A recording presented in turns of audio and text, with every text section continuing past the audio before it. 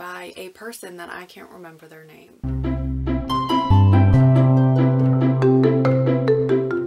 Hello everybody, it's your girl Jay and today I am here with my December wrap up for 2023. This is part two out of three. I read a total of 20 books this month, so without further ado, let us get started. The first book I read is Diamond City by Francesca Flores and I gave this a 3.5 out of 5 stars. This follows Ina Solis. She is an orphan turned assassin who works for a very powerful man named Cole Patel. He took her in when she hit rock bottom and because he trained her to be the assassin she is today, she feels like she is indebted to him. She has been selling illegal diamonds on the side in the hopes of one day earning enough money to go off on her own. Cole informs her that if she completes one last high paying job for him, he will let her go. When the kill doesn't go as planned, Cole makes her enemy number one and that is when she finds herself running for her life. I thought it was a pretty fun story full of action and murder. I think that the world building was a bit lacking and I think that the writing became repetitive pretty quickly. I never fully understood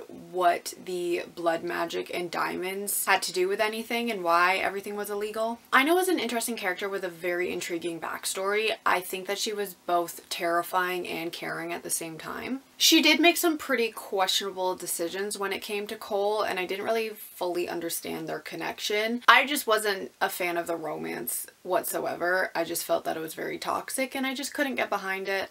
I did really love her friendship with Teo though and I did like Ryu. I thought he was such a little cutie and I just wanted to protect him at all costs. I do have a copy of book two so I will be picking up that soon to finish off the duology but yeah I gave it a 3.5 out of 5 stars. The next book I have is The Other Woman by Sandie Jones. I gave this a 4.5 out of 5 stars. So this follows Emily who meets the love of her life named Adam and she is so excited to start a life with him. Then she meets his mother Pam and she quickly realizes that she will stop at nothing in order to sabotage their relationship. This was such a fun book. It's a thriller and it went in a way that I did not see coming whatsoever. The chapters are very short, which kept my attention throughout the whole story. I was so invested right off the bat from chapter one. It is definitely a slow burn thriller. It takes a while to get into the story, but honestly it was so worth it in the end. The writing is so addictive. Pammy was the absolute worst and some of the things that she did would make my mouth hang open, but I loved to hate her. I could not get enough of her character and seeing what she was going to do next. I didn't really understand why Emily was staying in the relationship. I just didn't really see anything worthwhile in it, especially for a man like Adam. I'm sorry, but he was the absolute worst.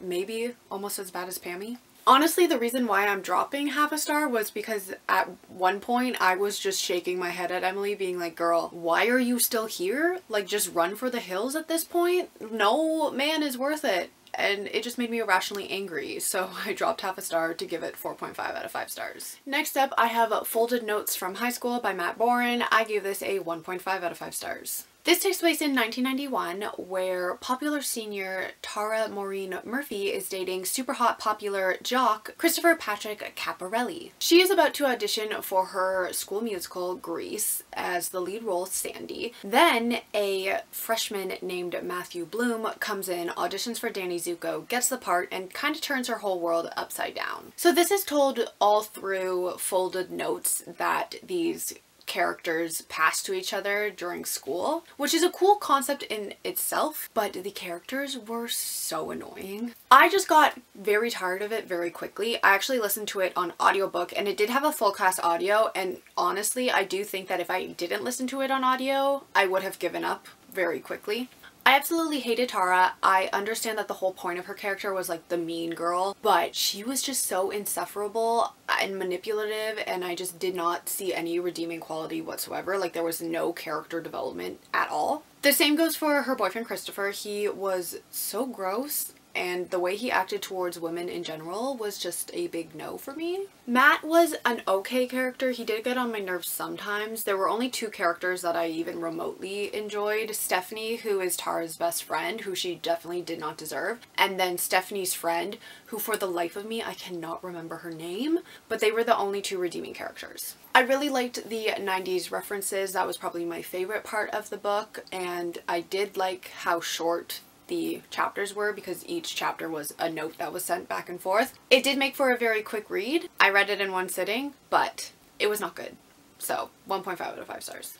The next book I have is Sing by Vivi Greene, and this book just screams Taylor Swift fanfiction, which I was not necessarily mad about, but I ended up giving it a 3 out of 5 stars. After a messy breakup with her heartthrob boyfriend, a teen pop star decides to flee town and go off to an island in Maine with her two best friends. She has sworn off boys for the summer and she wants to focus on her music, but then she meets local boy Noel Bradley who wants nothing to do with the limelight.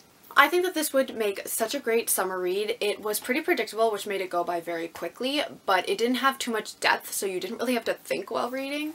I loved the island setting. I would absolutely love to go there. I did like Noel in the beginning, but some of the things and events that happened towards the end of the book made me dislike him a little bit. I did really love his dad and little sister though. They were just such a loving family and I loved reading about them. Lily could definitely be annoying at times. She was very self-centered with a lot of the decisions that she made. I did really like the ending though and the character development that Lily went through. I think that her focusing on herself is definitely the right choice in the end. I give it a 3 out of 5 stars, definitely a Taylor Swift fanfiction, but it was a cute fast read. Next I read The Truth Project by Dante Madema and I give this a 4 out of 5 stars. This follows 17-year-old Cordelia who decides to find out more about her ancestry by sending in her DNA to a website for her senior project. She discovers a big secret that her family has been hiding from her and she needs to decide what to do with this new information and it's kind of the story of that. This book is told in verse, emails, and text messages which I've always loved that format of a book. It is such an emotional, heartbreaking story and the ending punched me right in the heart. I teared up, which I don't normally do in books. I just thought it was so beautiful and I definitely recommend reading the book just solely for the ending. Seeing Cordelia go through this journey was such an emotional roller coaster. I personally was a big fan of Kodiak. I think he is just such a misunderstood sweet little baby.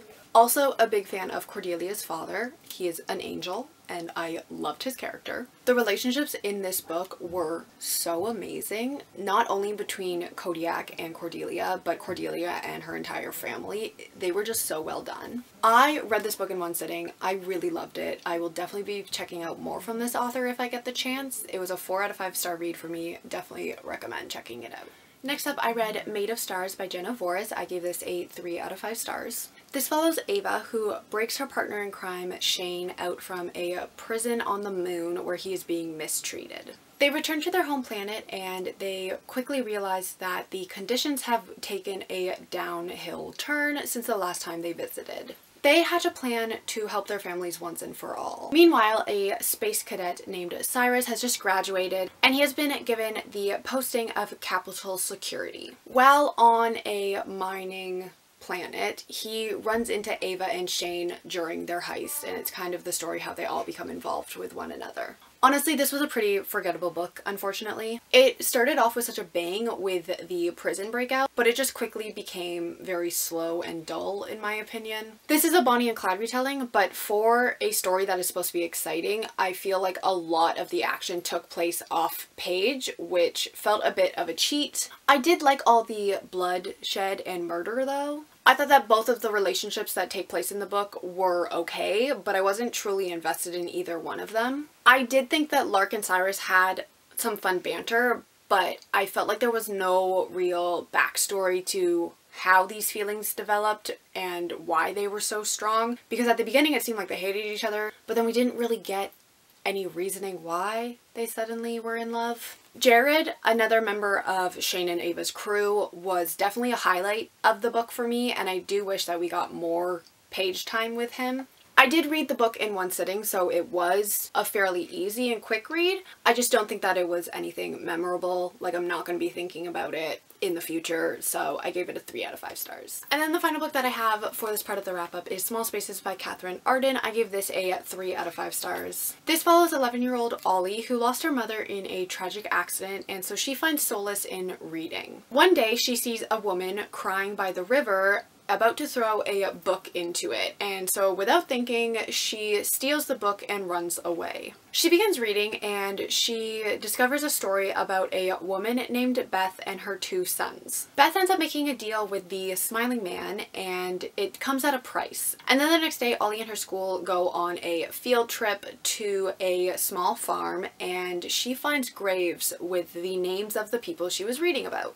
On the way home, the bus breaks down and things take a spooky turn when the scarecrows of the farm come to life. This is a spooky little middle grade book with some fun characters. I really liked Ollie. I think that the depiction of grief and depression was really well done in her character. It is a fairly short book, so I did read it in one sitting fairly quickly. I really liked the unlikely friendship between Ollie, Coco, and Brian. I think that the book inside a book trope was really cool, and I definitely want to find more books with that trope. I think that the smiling man and his scarecrows were definitely creepy and I think that they would definitely spook a lot of young readers. I think that this would make a really great October spooky read, so if you have not read this book already, definitely pick it up during the spooky season, but I ended up giving it a 3 out of 5 stars. Alright everyone, so those were the next books that I read in the month of December 2023. If you are interested in part 1 of the wrap-up where I go over the first 6 books, then check that out on my channel. The last part will be up